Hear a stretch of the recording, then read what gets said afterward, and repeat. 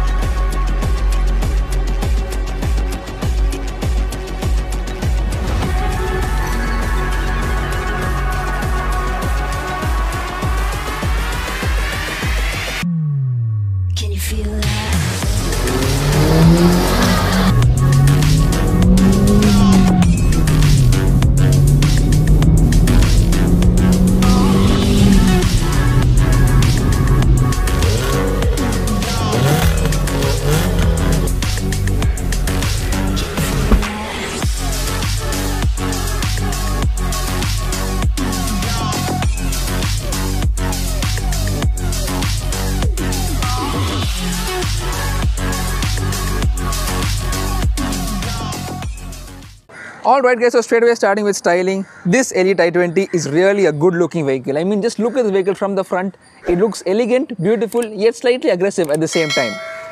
From the front we have the Hyundai logo, a really slim grille and this big air dam down below. We have these swooping headlights over here with an inbuilt eyebrow giving the car a bit of an angry look. Regular vehicles do get a normal projector setup, however this vehicle has LED projectors, I'll show you that in a bit. We have fog lights down below and this samurai look giving the vehicle an extra sporty look. From the side, this Elite i20 is a vehicle that has absolutely zero bad proportions. I mean look at it from the front, look at it from the back. This vehicle is really a good looking car all around. From the side, we have a nice big glass area. Do notice we have a blackened C pillar and that is stock. This vehicle additionally has a blackened mirror and blackened roof to give it a floating roof design as well as make it look more sporty. We have the power to sticker over here that adds 5 bhp. Now the Hyundai Elite i20 is one of the first cars in the segment to have a diamond cut finish. Take a look at these wheels man, 16 inch wheels, 190 55 R16 is the tire size. Looks really very beautiful. Gives the car a really upmarket look as well. Moving to the back now, this is the top spec Asta variant. This is a petrol vehicle. We have a sticker, Evo India sticker, as well as the all-important stick sticker adding 5 bhp. Do note, you see this car in Anna Nagar with the stick sticker. Do not mess with this car. From the back too, the car looks really very good. We have a very beautiful designed lights over here. And do note, this is the reverse parking camera of the vehicle. Yes, this vehicle in 2016 did have a reverse parking camera. Opening the boot, we get this massive subwoofer over here. Pumps out a lot of bass. Boot space is decent, 285 liters of space.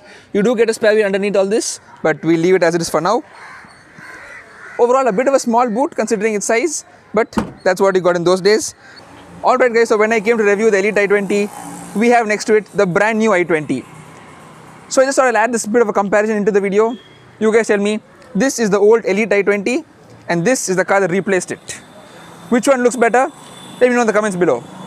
I felt the first generation car to be a bit bland and basic in design, whereas this car, the third generation, is really overstyled and I really don't like the aggressive cuts and creases everywhere. Sharp lines are nice, but this many sharp lines on the car really give the car an awkward look from certain angles. The second gen car, or the Elite i20, what we call it, is a much more rounded, elegant and smooth design and out of all the cars, this is my favorite design. Let's now check out inside. Alright guys, so we have this dual tone finish over here, black and this brownish beige over here. Gives the car a really premium look. Let's really jump inside.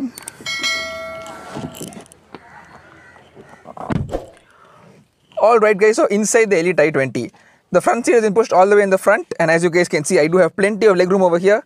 Under the support is quite decent. Headroom too is adequate I would say for a person of my height. I am 6 foot tall. This seat has been set to my driving position and as you guys can see, you do have plenty of space over here. You also get rear AC vents. You have a light placement over here. You do not get a center armrest. And overall, the back seat experience in this car is quite nice. You get a bit of a scooped out seat back with the magazine holder as well. And yeah, I mean, pretty much it's a quite a comfortable place to be. And for a hatchback, it is quite comfortable. Let's now jump to the front seat now. Before we go inside, this is the key of the vehicle. You get a smart key. You also get a request sensor over here as well. So talking about the front door pad, you have the same dual tone finish over here as well. You have your window controls, your mirror controls. This vehicle does have power folding mirrors. That's quite cool. You get door pockets as well. Let's jump inside. All right, guys, let's quickly start the car. We have a push button start as well.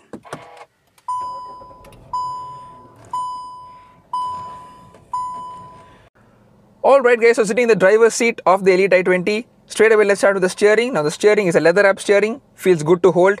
We have the buttons for your infotainment over here, as well as taking and attending phone calls.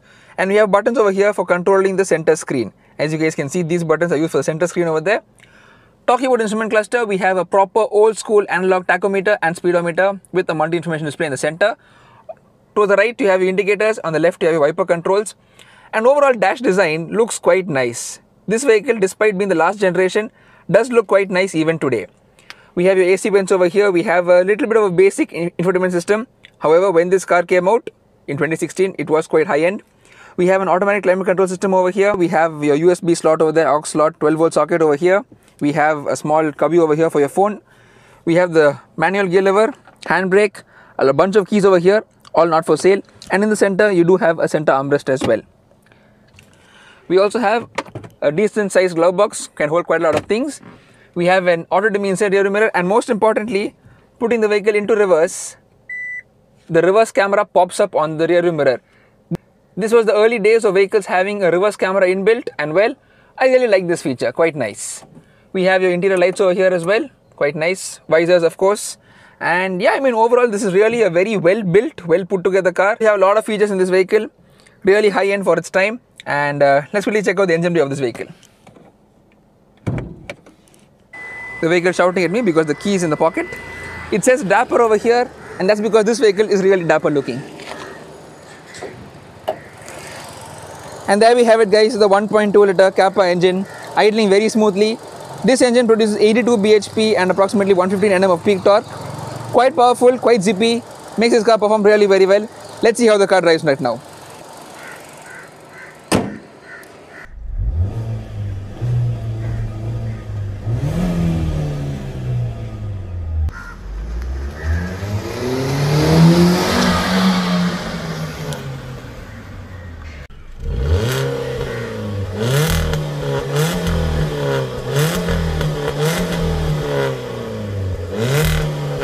Alright guys, so talking about the audio quality in this car, I already mentioned we have the massive Sony subwoofer at the back as well as a Blaupunkt amplifier somewhere in this car.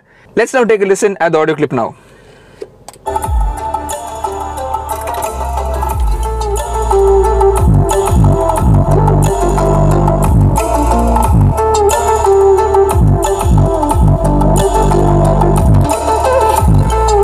And so guys, that was the audio quality in this car.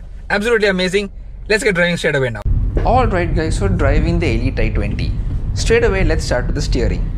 Now the steering on this car is extremely light and you can literally turn the steering with a single finger. This makes the car really easy to drive in the city.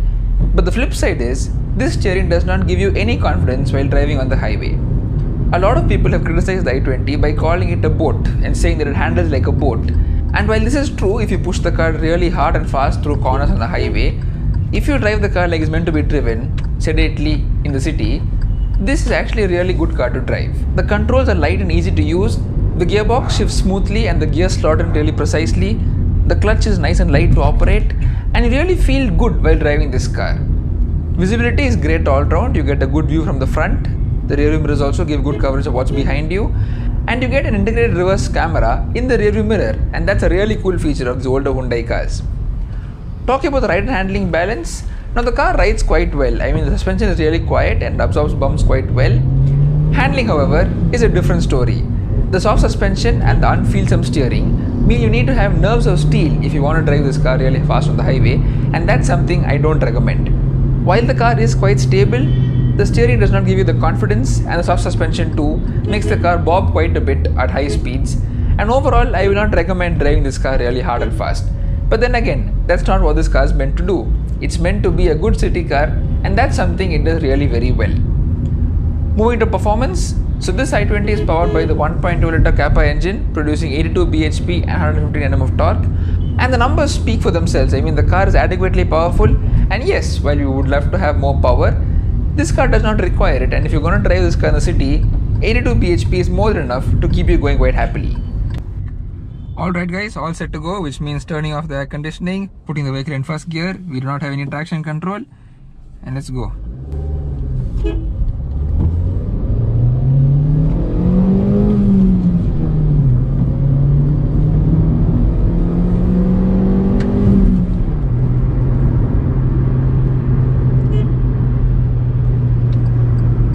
Overall, I feel the Elite i20 is a good little city car and faces a lot of hate by being called a boat.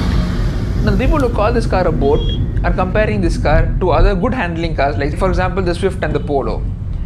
Comparing this car to let's say a Polo or a Swift, yes, the steering is not that feelsome and you don't get that handling prowess and finesse while driving this car fast. However, the flip side is the i20 has a much better ride quality than both the Polo and the Swift and that I feel is a good trade off for people who just want a comfortable city car and not a car that handles very good and handles fast around corners. Personally, I feel every car has their pros and cons, and personally, I feel this car has a good ride quality, plenty of features, and a very good city driving experience, and this will suit people who want exactly that. Personally, I also feel this generation of the i20, the Elite i20, is the best looking i20 of all of them. The second generation car, the Elite i20, is styled with the perfect balance of sportiness and elegance, and overall is a really good looking package. So, should you buy the Elite i20? Well, used examples are available for as low as 4 to 5 lakhs, and at this price point, I feel you should consider the i20 as against a brand new Alto or a Kwid. Yes, those cars are new cars, obviously.